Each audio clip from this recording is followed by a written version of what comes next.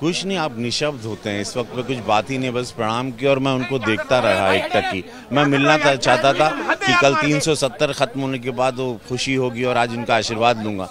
और मैं भागा रहा कि मैं उनको मैं लेटे हुए नहीं देखना चाहता था तो बहुत जल्दी ये कमी कभी पूरी नहीं होगी। आखिरी बात सुषमा जी ने आपसे जो कही जो अरे माइक हटाना जरा। 18 हाँ, कि बहुत आगे बढ़ो। करने के लिए थे रवि किशन जो यहाँ पर आए सुषमा स्वराज के निवास पर और उन्हें अंतिम दर्शन देने के दे, देने के लिए उनको श्रद्धांजलि देने के लिए यहाँ पर आए थे। व्यक्तिगत तरीके से उन्होंने कहा कि वो निशब्द हैं इस वक्त क्योंकि उन्हें समझ में नहीं आ रहा है। वो इस तरीके से जिस तरीके से उनको देखते हुए आए हैं ये वाकई में पूरे देश के लिए एक बहुत बड़ा शोक का समय है। शकील के साथ मिलन शर्मा।